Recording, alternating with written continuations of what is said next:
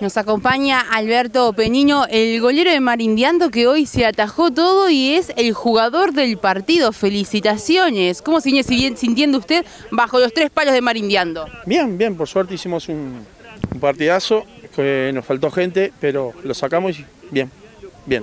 Son las primeras armas en las ligas, tienen siete puntos, van invictos. ¿Cómo preparan lo que es el próximo domingo? Eh, se supone que el domingo que viene jugamos contra otros que van atrás nuestro y como todos los partidos, como todos los partidos, este, tratando de jugarlo como lo jugamos, sí, sin sorpresas.